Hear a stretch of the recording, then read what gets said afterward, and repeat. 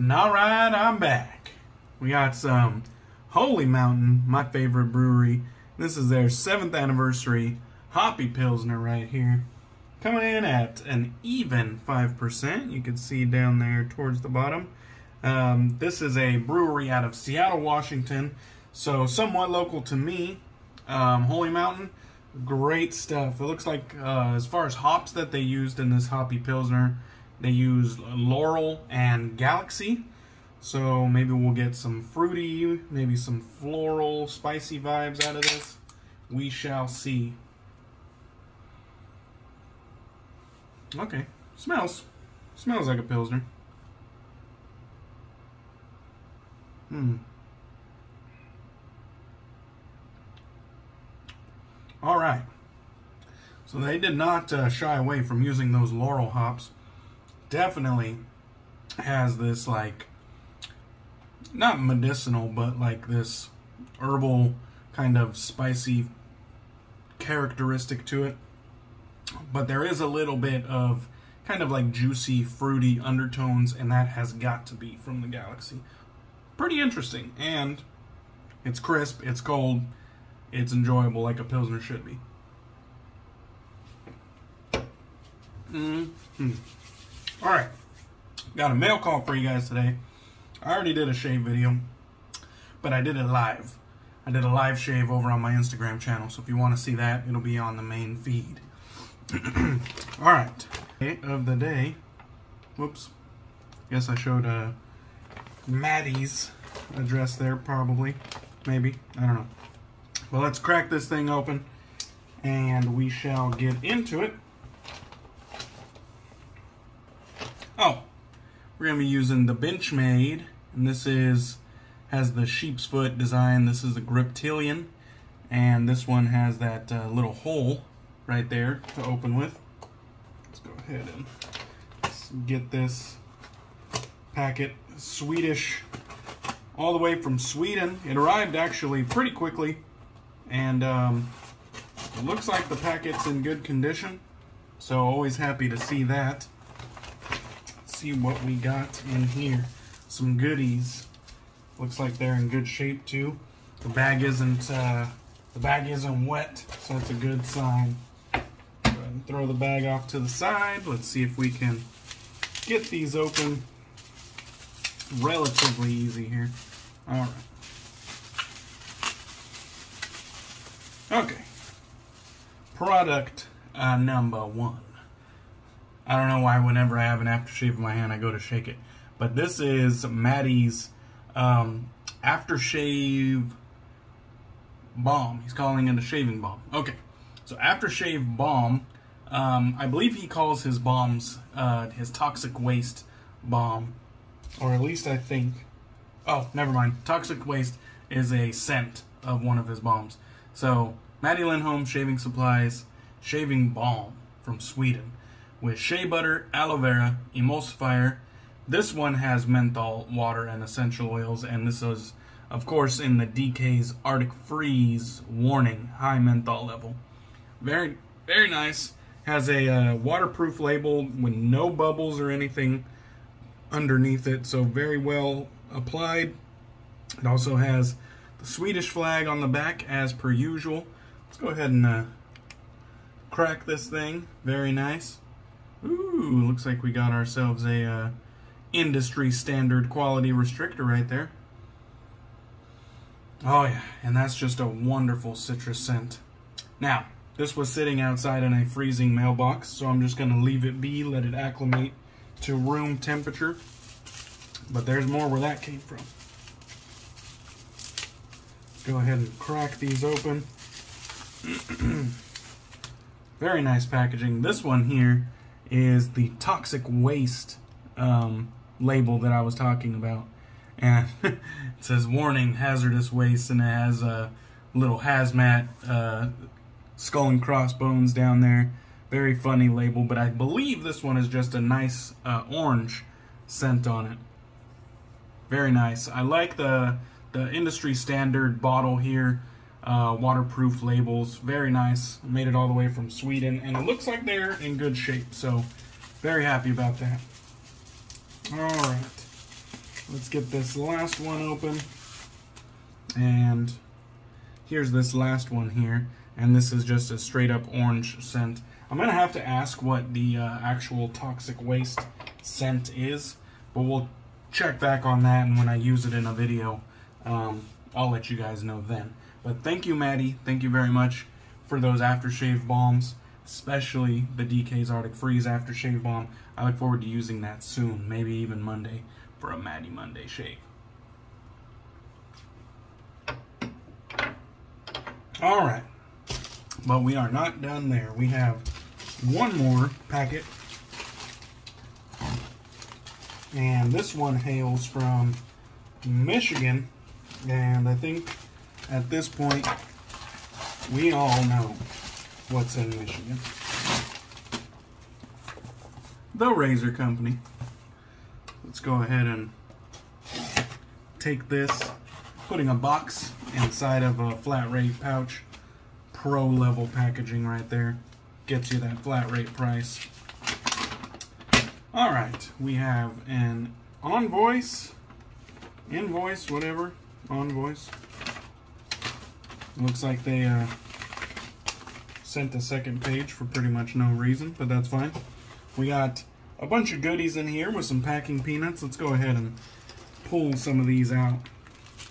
Alright, they always put this protective sleeve over everything, so I definitely appreciate that. Alright, first one up. This one is Los Jabones de Joserra and the scent on it is Quacos. And I hope I'm saying that right. Quacos. Ooh, that's a nice scent. There's a look at the pour. It's got a wide jar, low profile type uh, jar there. Nice. It's kind of like a like an oriental, like a sweet, spicy um, oriental scent. Warm, but not too dark. It's probably good for year-round wear. That's nice. I really like the scent on that one. Uh, I've been wanting to try this one for a while. It looks like everything is in Spanish because I do believe this is a product of Spain. Uh, Hecho en España right there. So I do believe it is a product of Spain. But I've been wanting to try this one for a while. It's a little bit more expensive, but you gotta factor in all the import and all of that. But um, looks like good stuff. Looks like good stuff. All right, so another new one to me. Another artisan that I haven't tried as of yet, but I'm looking forward to trying soon. And I think another product out of uh, Europe, if I remember correctly. Yes, handcrafted in Athens, Greece. So another product from the EU, and this one is Hags or Have a Great Shave is what it stands for, and this one is called Aftermath. Excellent um, side label there. It says vegan base. Give you a look at the uh, ingredients. Looks like the ingredients are in English, so thank God for that. um, there's the label on it. Very cool uh, artwork on hags. Um, looks like these are some astronauts unearthing another astronaut um, that didn't fare too well out there. let's uh, let's take a, a sniff of this one. There's a look at the pour. It's kind of a kind of a milk chocolate brown color. That smells pretty good as well. Kind of has like a, almost a gourmand type uh, scent to it. Oh shit, on the back it says vegan base and it actually has the scent notes and intensity it calls it. Maybe they mean scent strength. Top notes of oregano, pepper, bergamot. Uh, middle notes, incense, opopanax, amber, and labdanum. And then base notes of leather, agarwood, oud, sandalwood, and patchouli. And, uh, alright. So I guess, uh, comes off as kind of gourmandy. I would love to take a bite out of this, but maybe it's not. But it definitely is kind of a warm scent. And these came straight out of a uh, freezing mailbox. So I'm going to have to let them warm up to appreciate the full scent. But the first impressions on both of those, really nice. All right, next up. This is a brand that I have tried before, but I haven't tried a lot of. So let's go ahead and pull this one out. Uh, this is Heritage Hill Shave Company.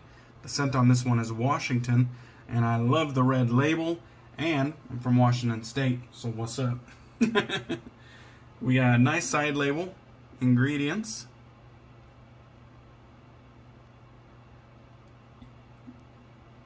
And this one's out of Jacksonville, Florida. Ooh, this one looked like it uh, must have took a, a, bump or something in transit. If you could see right there on the cap, it has a crack, but um, it looks like it's not cracked to the point of causing problems. It's still functioning as a lid should function. So I think we dodged a bullet there. There's a look at the pour. And this one smells pretty damn good too. I don't remember which ones are dupes and which ones aren't. I think Hags is definitely a dupe, but I don't know if the other two are cologne dupes or not. But they all three smell good so far. So three winners. Let's see, what else do we got in here? We do not, did not get a uh, air freshener this time, so rip on my part there. All right. Looks like we got a little pouch of various blades. I'll pour them out onto the counter. First things first, we got some Parker Safety Razor stainless steel injector style blades. So I look forward to using those soon. We also got some Feather Professional Super Artist Club blades. So I'll be trying those soon. We also got some Kai Captain blades. Let's see, is there any other information? Kai Captain blades. Hmm. I feel like there was something else to this. But Kai Captain blades. I don't know if they're I feel like there's another designation that goes with this, but I'll have to uh, research that. But Kai Captain blades, also Artist Club blades. And then on top of that, we got some Gillette Ruby Plus blades and some Gillette Super Thin um, blades as well. And I haven't tried either one of these. So looking forward to trying these blades soon. These two being uh, DE blades. Haven't uh, haven't tried some new blades in a while, so every once in a while I'll throw some blades in at the end of an order just to kind of bring that price to an even number. I don't know. I'm weird like that. But a lot of good shit. Got a couple soaps, a couple aftershaves, and a couple blades. So uh, I look forward to using these soon. Hope you enjoyed the mail call. Hope you guys have a good rest of your weekend, and I'll catch you on the next one. Cheers.